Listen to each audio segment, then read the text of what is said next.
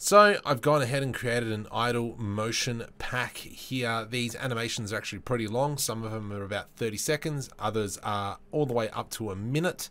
And you can see various talking, various poses.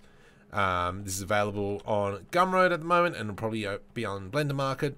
It is for Unreal Engine 4 at the moment, but also is for Blender. So jumping over to Blender, I've already set this character up with Auto Rig Pro, amazing add-on. Definitely something you got to pick up if you're going to be using motion capture files. So let's import it, file, import. Now I've set the Blender ones as a .bvh file. Let's go standing and talking. Um, we need to scale 0.01 because it comes in quite large. Let's just move him off to the side. Select our source armature. Select our target armature. Build the bone list Let's make sure our hips have a root bone. Let's go build bone list. I've just clicked that on again, you idiot.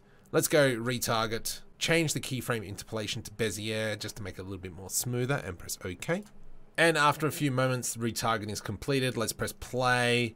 And there we go, we've got it assigned to a character. Now obviously there is a little bit of clipping and that's because of the character's build doesn't match the armature exactly. Something to be aware though, over here, the frame rate is 60 frames per second.